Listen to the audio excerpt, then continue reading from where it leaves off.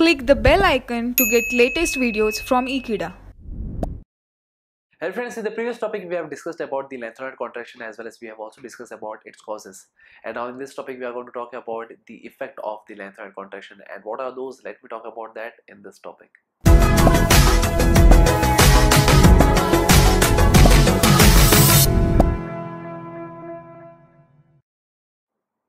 So friends, here we are going to talk about the effects of the lanthanide contraction. So starting the first one that is, we can find that is there is a decrease in the basicity. For example, if I am talking about that is lanthanum, that is La plus 3 ion, and suppose if I am talking about that is lutetium, that is that also plus 3 ion. So the previous topic also we have discussed that is there is a size decrease or there is a that is atomic size decrease of that is 10 picometer and there is an ionic size difference of that is that is what we have observed in the previous topic. But now let us understand that is what is the effect of the lanthanide contraction on the basicity. So since we are moving from left to right, that is from lanthanum to lutetium. So in that case, we can observe that is the atomic size, it goes on decreasing along with that of the ionic size, it goes on decreasing. So because of that nature, what happens is this La3 plus ion, suppose if it forms, that is lanthanum hydroxide. And in this case, suppose if lutetium is forming lutetium hydroxide. So if we talk about the atomic size, we understood that is the La 3 plus ions, that is the lanthanum 3 plus ion is having more atomic size, a larger atomic size compared to that of the lutetium which is having a lower or less atomic size compared to that of the lanthanum. So because of that reason, the bond between this metal and this hydroxide is basically ionic in nature. While here basically we can find that is the bond between the lutetium and the hydroxide ions are basically covalent in nature. And that's the reason we can say that is the ionic character of the metals it goes on decreasing if we move from left to right that is from lanthanum to lutetium. But the covalent character it increases from lanthanum to lutetium thereby making us to understand that is LaOH thrice that is the lanthanum hydroxide is more basic compared to that of the lutetium hydroxide.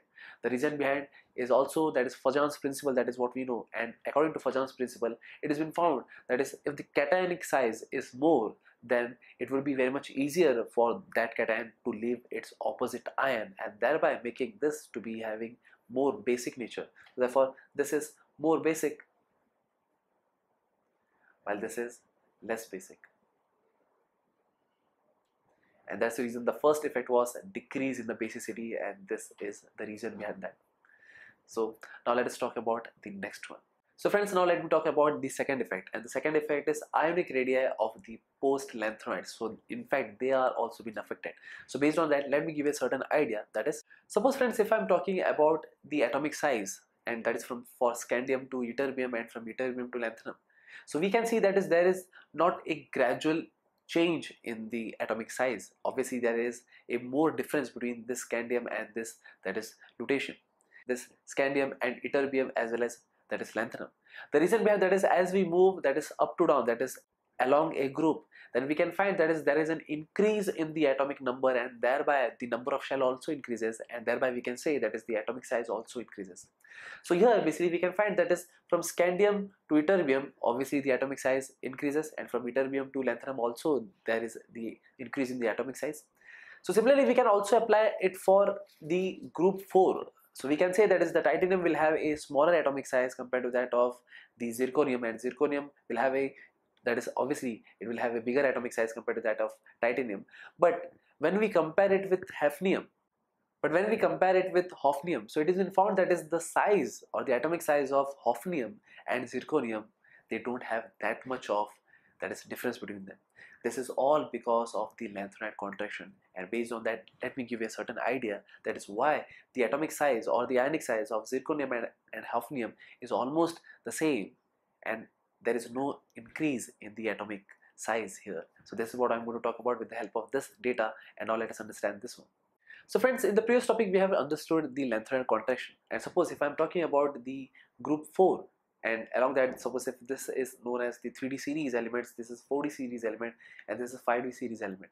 So suppose if we come down to the group that is from titanium to hafnium then obviously we understand that is the atomic size it goes on increasing so that's the reason that the titanium has an atomic size of 132. For zirconium it is 145 but for hafnium that is HF it has been found to be 144 so why there is not increase in the atomic size? This is because before hafnium it comes the lanthanoid and that lanthanoid is nothing but it belongs to the lanthanoid series. And all those lanthanoid series that are basically present on the sixth period and the third group.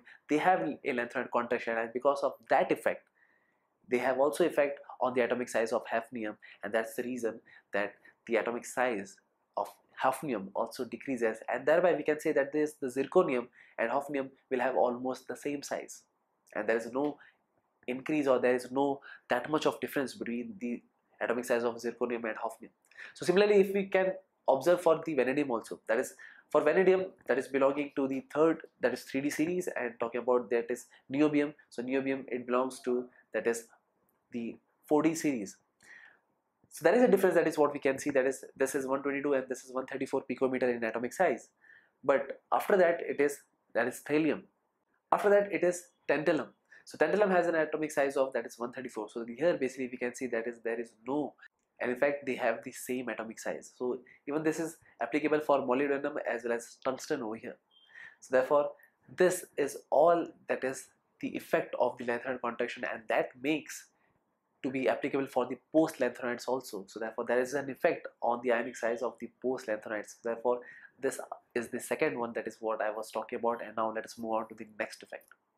So the next effect is similarity among the lanthanoids we understand that is there is no appreciable change in the atomic size for the lanthanoids and that's the reason that because of all the atomic size are almost the same and obviously they have a difference of that is 10 picometer which is not that much. So that's the reason that all the lanthanoids have almost the same property and to differentiate them. Suppose if we have obtained those metals and to differentiate it is very much difficult because they have the same atomic size almost the same atomic size and they all have the same properties also. And that's the reason it is very much difficult to separate them. And that is nothing but the similarity among the lanthanoids so therefore this all is due to the lanthanoid contraction and this is the effect of it. So thank you friends for watching this video. I hope you have understood this video very clearly. And i hope i'll see you next time. Till then don't forget to subscribe ekeeda channel. Thank you so much